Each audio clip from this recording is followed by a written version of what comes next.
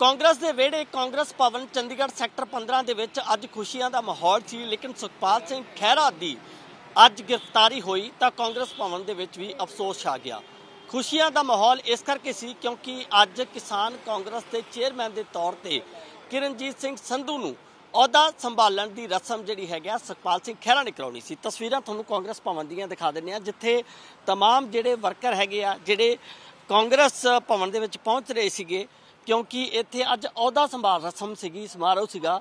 ਕਿਰਨਜੀਤ ਸਿੰਘ ਸੰਧੂ ਜਿਹੜੇ ਕਿ ਚੇਅਰਮੈਨ ਲੱਗੇ ਨੇ ਨਵੇਂ, ਉਹਨਾਂ ਦਾ ਅੱਜ ਅਹੁਦਾ ਸੰਭਾਲਿਆ ਜਾਣਾ ਸੀ ਤੇ ਰਸਮ ਕਰਾਉਣੀ ਸੀ ਸੁਖਪਾਲ ਸਿੰਘ ਖਹਿਰਾ ਵੱਲੋਂ ਕਿਉਂਕਿ ਕਿਸਾਨ ਵਿੰਗ ਦੇ ਜਿਹੜੇ ਚੇਅਰਮੈਨ ਦੇ ਤੌਰ ਤੇ ਪ੍ਰਧਾਨ ਦੇ ਤੌਰ ਤੇ ਸੁਖਪਾਲ ਸਿੰਘ ਖਹਿਰਾ ਜਿਹੜੇ ਉਹ ਕੰਮ ਕਰ ਰਹੇ ਸੀਗੇ ਤੇ ਇਹਨਾਂ ਵੱਲੋਂ ਹੀ ਅੱਜ ਪੂਰਾ ਪ੍ਰੋਗਰਾਮ ਕਰਵਾਇਆ ਜਾਣਾ ਸੀ। ਤਾਂ ਤਸਵੀਰਾਂ ਤੁਹਾਨੂੰ ਕਾਂਗਰਸ ਭਵਨ ਦੀਆਂ ਦਿਖਾ ਦਿੰਨੇ ਆ ਕਿਉਂਕਿ ਅੱਜ ਪ੍ਰੋਗਰਾਮ ਇੱਕ ਵੱਡਾ ਉਲੀਕਿਆ ਗਿਆ ਸੀ ਕਾਂਗਰਸ ਭਵਨ ਦੇ ਵਿੱਚ ਅਤੇ ਕੁਰਸੀਆਂ, ਟੈਂਟ ਲਗਾ ਦਿੱਤੇ ਗਏ ਸੀ। ਲੇਕਿਨ ਅੱਜ ਇੱਥੇ ਕਿਉਂਕਿ ਪ੍ਰੋਗਰਾਮ ਹੋਣਾ ਸੀ, ਸੁਖਪਾਲ ਸਿੰਘ ਖਹਿਰਾ ਮੁੱਖ ਮਹਿਮਾਨ ਦੇ ਤੌਰ ਤੇ, ਕਰਤਾ ਧਰਤਾ ਦੇ ਤੌਰ ਤੇ ਵੀ ਅੱਜ ਇੱਥੇ ਪ੍ਰੋਗਰਾਮ ਦੇ ਵਿੱਚ ਆ ਰਹੇ ਸੀਗੇ, ਕਿਉਂਕਿ ਉਹਨਾਂ ਦੀ ਰਹਿਨੁਮਾਈ ਦੇ ਵਿੱਚ ਹੀ ਚੇਅਰਮੈਨ ਨੇ ਅਹੁਦਾ ਸੰਭਾਲਣਾ ਸੀਗਾ ਲੇਕਿਨ ਉਹ ਖੁਦ ਅਰੈਸਟ ਹੋ ਗਏ ਅੱਜ ਤਾਂ ਕਿਤੇ ਨਾ ਕਿਤੇ ਜ਼ਰੂਰ ਕਾਂਗਰਸ ਦੇ ਇੱਕ ਖੇਮੇ ਦੇ ਵਿੱਚ ਅਹ, ਜਿਹੜੀ ਹੈਗੀ ਆ ਉਹ ਜ਼ਰੂਰ ਛਾਈ ਹੋਈ ਹੈ ਤਸਵੀਰਾਂ ਤੁਸੀਂ ਦੂਰ ਤੋਂ ਦਿਖਾ ਦਿਓ ਤੁਲਸੀ ਜੀ। ਤਾਂ ਇਹ ਤਸਵੀਰਾਂ ਨੇ ਕਾਂਗਰਸ ਭਵਨ ਦੀਆਂ।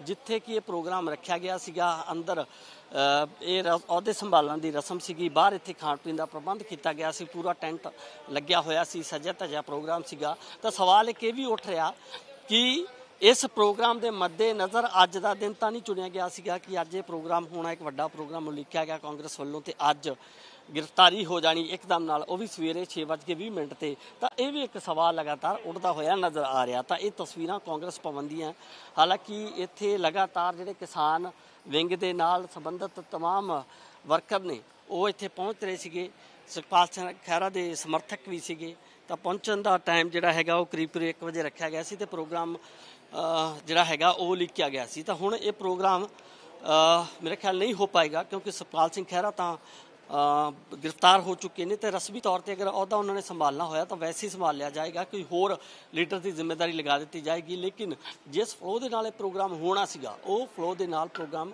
ਨਹੀਂ ਹੋ ਪਾਏਗਾ ਕਿਉਂਕਿ ਜਿਸ ਵਿੰਗ ਦੇ ਪ੍ਰਧਾਨ ਸੁਖਪਾਲ ਸਿੰਘ ਖਹਿਰਾ ਸੀਗੇ, ਉਹ ਖੁਦ ਹੀ ਅਗਰ ਅੰਦਰ ਨਹੀਂ ਤਾਂ ਖੁਸ਼ੀਆਂ, ਜਸ਼ਨ ਦਾ ਮਾਹੌਲ ਜ਼ਰੂਰ ਇੱਥੇ ਨਹੀਂ ਹੋਏਗਾ, ਜ਼ਾਹਿਰ ਤੌਰ ਤੇ ਨਹੀਂ ਹੋਏਗਾ। ਤਾਂ ਤਸਵੀਰਾਂ ਕਾਂਗਰਸ ਭਵਨ ਦੀਆਂ ਦਿਖਾ ਦਿੰਦੇ ਆ ਸਿਕਿਉਰਿਟੀ ਜਿਹੜੀ ਹੈਗੀ ਹੈ, ਇੱਥੇ ਪਹੁੰਚੀ, ਬਾਹਰ ਬੈਰੀਗੇਟਿੰਗ ਲਗਾਈ ਗਈ ਤਾਂ ਕਿ ਕਿਸੇ ਤਰੀਕੇ ਦਾ ਕੋਈ ਪ੍ਰਦਰਸ਼ਨ ਵੀ ਨਾ ਹੋਵੇ। ਇਸ ਕਰਕੇ ਚੰਡੀਗੜ੍ਹ ਪੁਲਿਸ ਵੱਲੋਂ ਬੈਰੀਕੇਡਿੰਗ ਵੀ ਕੀਤੀ ਗਈ। ਤਾਂ ਇਹ ਤਸਵੀਰਾਂ ਨੇ ਚੰਡੀਗੜ੍ਹ ਦੇ ਵਿੱਚ ਸੈਕਟਰ 15 ਕਾਂਗਰਸ ਭਵਨ ਦੀਆਂ। ਤਾਂ ਲਗਾਤਾਰ ਜਿਹੜੇ ਲੀਡਰਸ਼ਿਪ ਹੈ ਉਹ ਵੀ ਇੱਥੇ ਪਹੁੰਚ ਰਹੀ ਸੀਗੀ। ਮੀਟਿੰਗਾਂ ਦਾ ਦੌਰ ਵੀ ਜਾ- ਜਾਰੀ ਹੈ। ਕਾਂਗਰਸ ਵੱਲੋਂ ਐਲਾਨ ਕਰ ਦਿੱਤਾ ਗਿਆ ਕਿ ਇਸ ਮੀਟਿੰਗ ਇੱਕ ਹੰਗਾਮੀ ਮੀਟਿੰਗ ਬੁਲਾਵਾਂਗੇ।